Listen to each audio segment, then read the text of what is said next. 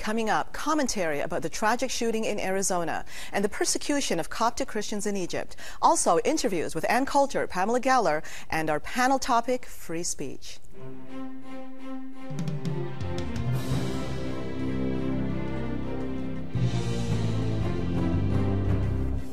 Welcome aboard, beginning with my commentary. First, the tragic and deadly shooting in Arizona, where I was visiting when it happened. Thankfully, Congresswoman Gabby Giffords continues her miraculous recovery. We need to continue to lift up family members in prayer. Within hours of this tragedy, rather than focus on the people involved, the blame game began. Sarah Palin was pounced on over her Facebook map posting that depicted targets on Democratic lawmakers who supported Obamacare. Well, Palin's known for her hunting references, seen by some as connotations of violence. But it's downright illogical to put blame on her for this tragedy. The alleged shooter is clearly very ill. So Palin responds by going into defense mode and cautions, quote, journalists and pundits should not manufacture a blood libel. For this, she is further attacked. For the record, the term blood libel has become a phrase used by every political stripe to denote extreme defamation. Could Palin have done a better job? Well, that's another issue. The biggest one, politicizing this tragedy. It detracts from the lives permanently affected and the condition of mental illness. Agenda-driven ideologues pushing political causes on the backs of tragedies only serve as vultures who worsen the heartache and disgrace their country. Even in Canada, we pointed fingers about the American gun culture. Come on, we've had our fair share. Look them up. Dawson College shootings, the Lépine massacre, and Fabrikant in Concordia, where my uncle, a professor, was shot and killed. The Coptic Christian massacre in Egypt. Suicide bomber steps out of a car, detonates himself, and kills at least 21 Coptic Christians, wounding 100 more. They were celebrating Christmas Mass. Egyptian President Mubarak expressed condolences, but the West needs to watch very closely. Copts number about 15% of Egypt's population. Under Mubarak's rule, violent attacks against them intensified and runs rampant. In addition, security forces routinely clash with Copts when they protest their persecution. Question. Does the Egyptian government have an agenda? Consider this. The climate of hatred against the Copts is deeply entrenched in Egypt's institutions. Killers of Copts are rarely apprehended. If so, then given a slap on the wrist. But Mubarak seems to be appeasing Islamists who are, by the way, on a Christian cleansing drive, seen not only in Egypt, but in the West Bank and Lebanon as well. Mubarak's likely goal to strengthen his hold on power and pass it on to his son, particularly given his own ailing health, his age, and that he's out of sorts with his own military. While Mubarak may have big trouble on his hands given the uprising in Tunisia that resulted in the ousting of President Ben Ali. Dozens of Egyptian activists opposed to President Mubarak's three-decade regime danced outside the Tunisian embassy in Cairo chanting, Ben Ali, tell Mubarak a plane is waiting for him too, unquote. An infuriating thought.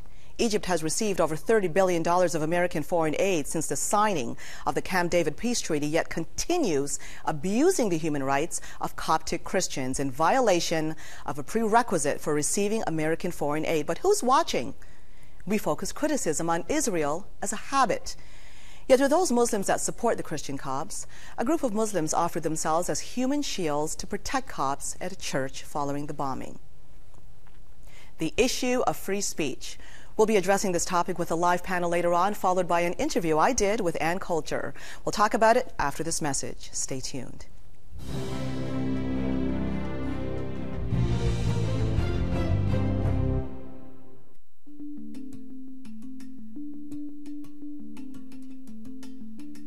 Welcome back to On the Front Line. I caught up with Ann Coulter at the David Horowitz Restoration Weekend in Palm Beach. Ann has a reputation of saying things unwatered down. It's her style and has garnered her plenty of attention, including the threat of physical attacks, enough to need a bodyguard. She talked about her visit to Canada, people's reaction to her overall, and some of her issues with left-wing ideology. Take a look. I can't wait to come back to Canada. Are you going to be speaking in Carleton? well, um, I may be speaking before the Human Rights Commission because I do have a complaint pending there against Francois Houle. Has anything come of that? Um, yeah, we're collecting. My lawyer, the great Ezra Levant, has been collecting lots of documents, discovery.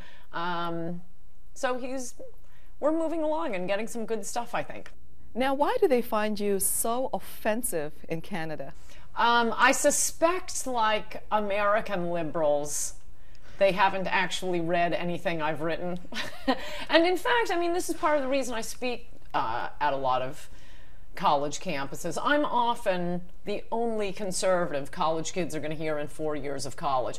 And I can't tell you how many kids I've met a year or two out of college, sometimes still in college. Um, one one came to a radio station I was in last year, KABC in LA, who's my biggest fan. He wanted me to sign books. He happened to know the host. And so, you know, we're chit chatting and I'm signing books. And he mentioned that the first time he ever heard of me when he was was when he was standing outside one of my speeches at his college with a bullhorn denouncing me. and then he thought after protesting me, huh, maybe I should read one of her books. And he said he read the first one and thought this makes a lot of sense. And he started reading more of them, and now he has them all, and he's my biggest fan. You said something very politically incorrect, and it had to do with women in voting. Oh, yes, I keep trying to repeal the 19th Amendment. It was a rash experiment with the woman's vote. But it hasn't really taken off, so I've turned my attention to the 26th Amendment, which is the amendment that allows 18 year olds to vote. You can't even drink at 18 anymore. the argument for allowing it, it was, a, it was added to the Constitution only yes. in 1971. Right. And the argument was, oh, they can drink at 18, they can be conscripted to go fight. And it was right at the end of the Vietnam War. Um, well, we don't have a conscript, conscription anymore. There's no draft. Um, and by the way, I'd make an exception for the military. and according to the Democrats, with this newly passed and soon to be repealed Obamacare, uh, you're not an adult you, to get off your, your parents' health care policy until you're 26. So my motto is not old enough to pay for your own health insurance, not old enough to vote. Now, you call the left a religion. Why is that? Yes. Um, I mean, they have all of the tropes, the attributes of a religion, the intolerance of another point of view, the belief in things on faith. I mean, take gun control. How many times do we have to disprove that? How many studies have to be run where an a county that allows the law abiding to own guns, suddenly crime rate declines. And, you know, a surrounding county, there was the famous Gunnison, Georgia. That was the first one where it was demonstrated. John Lott ran the numbers going over many, many decades of many, many counties. I think it was, it may have been, could it have been every county in the U.S.? But it, it is a huge study. How many times do we have to prove this? And still, liberals, as a matter of faith, no, gun control, we must have gun control. now, Obama's campaign on change and on hope. You've had quite a bit to say about that. yes. Yes, that was quite a catchy campaign slogan, wasn't it? hope and change, change and hope. Um, every politician runs on change and hope. That was, I went back uh, sometimes for my for my college speeches. Um, I run through all of these quotes about, you know, what what this campaign is, uh, is about is change. It's about change and hope, and it's just quote after quote after quote from, from campaign spokesmen and from the New York Times describing the campaign of change and hope. And at the end of my list, I say this is all from the Clinton campaign, because that was the Clinton campaign as well, hope and change and bringing people together. And you see yourself as a feminist? Oh no. Oh no no no no. Never no. that label. No no no no no. No, it's like it would. Be, you know, I like, I like, I like dogs and flowers, but I'm not a green. That greens are um, you know, watermelons, green on the outside, red on the inside. That's the feminist movement. No, I'm pro women. Feminists, they're just pro killing their babies, apparently. Now, it's interesting that you talk about being pro woman, but there are those that say Anna's cruel. She can't be pro woman. From your perspective, you take this very uniquely. You see it as a right and a left issue. It is. I mean, look at what the feminist movement has done for for women in America. Um, they made divorce much easier. Um, the, they were the ones going around defending Bill Clinton, having affair after affair with interns he didn't even know the names of. Um, how, how has that helped women? Has divorce really worked out for American women? No, of course, when a woman gets divorced, her her income goes down significantly. She doesn't have a man around, and um, that's why single women are liberal. It, I mean, it really isn't something genetic with us, but it is something genetic to to to you know have the sense that you need a man you can depend on, and when there are no men you can depend on, and when the law don't force the men you marry to allow you to depend on them, well, then the government becomes your husband. In Canada, politics always comes down to abortion. It happened with the G20. It always comes down to that. Is that what they were so testy about? That's what they were testy about. Harper did not support abortion in Africa. You know, I'll tell you something interesting. Um, I think it's interesting, as my father would say. I'll be the judge of that. Um, I spoke at my alma mater, Cornell, um, a few years after after graduating. I was debating the head of Planned Parenthood. It was the, head, the beginning of this. It was a whole weekend, a pro-life weekend, and they were bringing in pro-life speakers like me. And um, by the time I got there, it was the end of the weekend. It was the big finale. Um, the room, much like will always be the case in Canada, by the way, had to be lined with cops. That's how insane the pro-choice people were, and shouting out the most vulgar expressions um, I think I've ever heard, and I have not even told my best friends what, what they are. I don't think I could write them on a napkin. They were so vulgar. In any event, um, did a lot of question and answer with the audience. And then I was a smoker then. So as soon as that speech was over, I was right out, standing outside Statler Auditorium, leaning against a post, enjoying a little tobacco pleasure. And as the audience filed out, this long line of girls, you know, lined up to, to argue with me, basically. And I'm telling you, one after another would say, I see your point, I agree with your argument, but what about? And it was always something like wife beating. So so why do you have to punish the fetus? That is the thing about abortion. Women, because why would you be so angry about it otherwise? it's not that they're angry at the fetus, they're angry at the man who got them pregnant, pregnant and left them hanging. Because it was always about what, what about the fact that, I understand your argument, but what about the fact that women make 60 cents on the dollar? right? It's all their anger at men being directed to this poor innocent baby sleeping in the womb. And that is seen as the feminist movement. When it comes down to women's rights, there's one issue that also stands out. The feminist movement, for example, supports the woman's right to wear a niqab. What's your reaction to that, Anne? Let America remain a country where that does not become a common word. yes, yes, yes, but um, I can top that. How about at airport security? They're going to keep checking all the Americans while letting the Muslims go through wearing the, the full hijab or whatever it's called. Now, you're pretty offended by airport security today.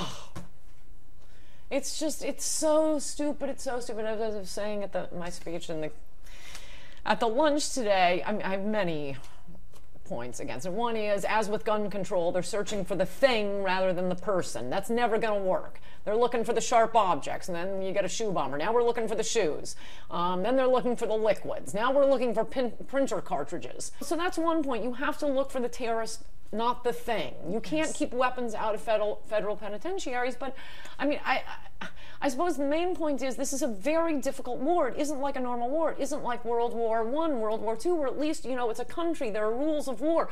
These are terrorists. They come and live amongst us, and then one beautiful sunny day they fly a commercial airplane into the World Trade Center the controversial Ann Coulter and the issue of free speech. We're going to go for a break now. When we come back, we'll be talking about free speech and introduce you to our panel. Don't go away.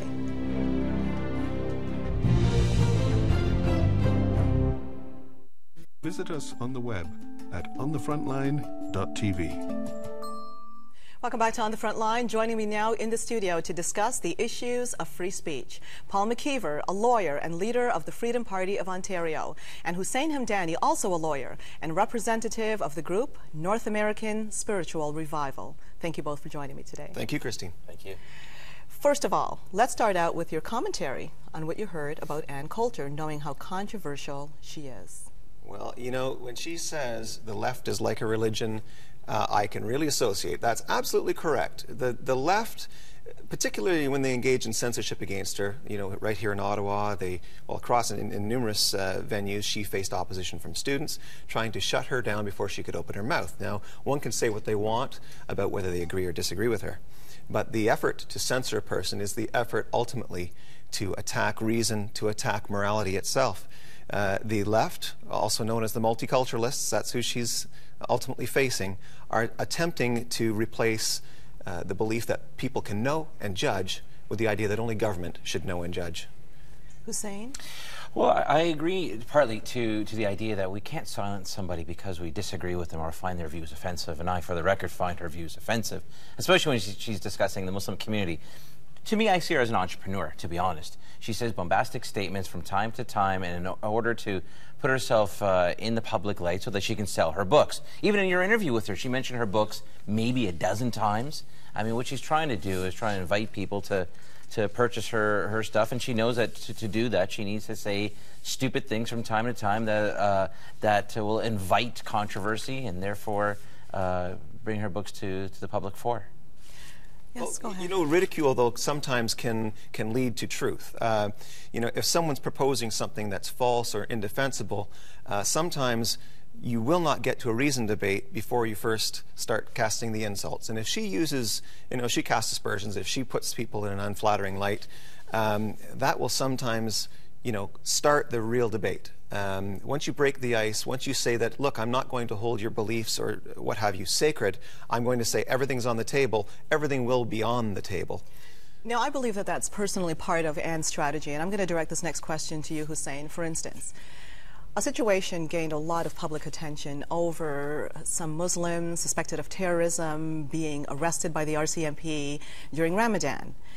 It follows after that a meeting was called and apologies were issued to the Muslim community for even doing those arrests on Ramadan. And it didn't stop there. Even having these meetings, uh, the RCMP was so careful as to make sure and observe um, what, what is proper in terms of food and so forth for Ramadan. You transfer this for to a Christian getting arrested, for example. Imagine the RCMP going out and apologizing to all Christians, visiting churches because they happen to arrest a Christian during a holiday that's holy to Christians. Do you find this a little bit over the top in well, terms of walking on eggshells when well, it comes to the Muslim community? Christina, I would disagree with the characterizations of, of those two examples, but I think so. My, my, my uh, position is if someone commits a crime at any time of the year, uh, the police are perfectly within their right, and society should expect that the police will arrest that person or persons uh, notwithstanding what festivities that they're celebrating. Um, so I, I, so that's that's how, where I stand. I think vast majority of Canadians take that position. Um, I, uh, you know, the Christians also have another break. You know, I was making this comment earlier. You know, the Jared Loughner, the one who went to Tucson, Arizona, right? He was until very recently a church-going attendee. He's a Christian. He identifies himself as a Christian. Yet, yeah, not one reference is it to his religion, which I think is a good thing. I'm glad that people aren't bringing his religion into his arrest. We joke, though, imagine if he were a Muslim. Same mental illness. This guy was born, his name is Muhammad Ali. He goes there and he shoots uh, six people dead and injures 12. Are you telling me that his religion would not have come up not once in that discussion about his murderer? So, so there are often where, where people who have faith, some people who have faith, will be held and their faith will be accused and will be will stand for trial. But when somebody well does as, something like this and they shout Allahu Akbar or something of the sort, no, I'm saying, and they do I'm it in the name did, of their religion, he that, didn't that, do this in the name of his religion. And I'm saying if this, listen, I'm in a fictitious situation, a hypothetical situation, some some uh, poor uh, poor person who who's got mental illness, but he happens to have the name Muhammad Ali. He didn't do it in the name of religion, but he goes, he's he goes and he's uh, Arab, he's got a beard, he shoots uh, six people dead, injures 12. Nothing to do with religion. This is a mental illness that we're talking about. He's a criminal. Um, and uh, I would say, I would posit that his religion being a Muslim would have come up in discussion. If he was an African American, I think his the fact that he's an African American would have come up in discussion. Well, and, and, you know, and indeed, uh, that's exactly what the media did do. They over, well, they pre-reacted in, in the case of Loughner. They didn't know anything about him, and some high-ranking left-wing uh, radio announcers immediately su suggested there was a connection between the Tea Party movement and the shooting of a, yes. of a, of a Democrat. Uh, you cannot make, and it's totally irresponsible to make that kind of assumption. It might ultimately end up being true. You have to find out in the, in the fullness of time. But you don't in the, you know, in the hours that follow when there's absolutely no idea who this guy is, why he did what he did. Uh, you can't just make these sweeping assertions. I mean, it turns out that, in fact, the, the, the, the, guy reads a wide variety of literature, including everything from Adolf Hitler and Mein Kampf, uh, Mein, you know, Mein Kampf to, uh, to Das Kapital, the Marx. I mean, you can't say that this guy was somehow a raving Republican. Now, we must go for a break now. When we come back, the question I'm going to be asking our guests, should there be limits slapped on free speech? Stay tuned.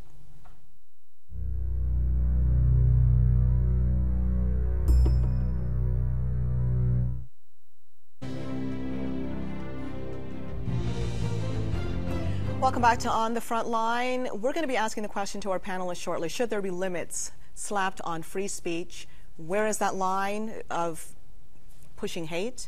Before we do that, let's take a look at this clip where Pamela Geller is featured. Take a look.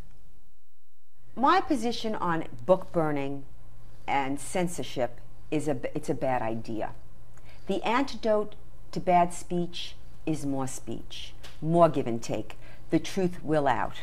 So I, I, I didn't particularly care for it, but it's protected speech. And the whole idea in America of free press and freedom of speech is to protect all ideas, not just the ones that we like, because who decides what's, what's good and what's forbidden? Um, so uh, I didn't like the idea, but it's protected speech. And again, this idea, the West adopts this idea of the Sharia do not insult Islam, do not defame Islam, because if there was a guy burning a Bible, nobody cares. They burn flags, nobody cares. Burn a page of a Quran, not the Quran. No, uh, excuse me, I don't know who died and made that the Holy Grail. Should there be limits to free speech, Paul? Uh, there are certainly limits to speech we recognize, defamation, and the reason we do things like defamation and fraud is simply for making sure that at no time does anyone obtain their life, your life, your liberty, or your property, you know, take your life, your liberty, or your property without your consent by way of lying to you. But in terms of religious texts, burning them, and etc., she's absolutely right. Uh, you must remain free to do something like burn the Quran. And in fact, again, it's the only way sometimes to open up the debate is to not revere what someone else is uh, The right to be offensive, yeah. Hussein. I would, I don't disagree with that. Uh, my, my position is often, though, that the freedom of expression should be universal. So that so we can't have these freedoms are allowed for these people because they have this character characterization. Well, for these people, they're not allowed to say it because because of something, uh, their race, their religion, their ethnicity, whatever reason. That type of bigotry is what I'm against. But I agree. I think I agree with her in, in the fact that uh, the antidote to to lessening or to have these type of debates is to have more expression, more debates, more opportunities to exchange ideas and dialogue, and we all are more robust as a result. Yeah, and you know, and these hate speech codes that are enforced not only in Canada but in right across the world, and uh, Denmark right now, we're seeing the case of Lars Hedegaard, for example. Um, you you end up with a code that always is enforced in favor of one, but not, or sorry, against one, but not against and we're all. We're to have to close on that note. I'd like to thank you both so thank much you. for joining me today. Thank you. And that's all the time we have. See you again next time. I'm Christine Williams, and from all of us, thank you for watching.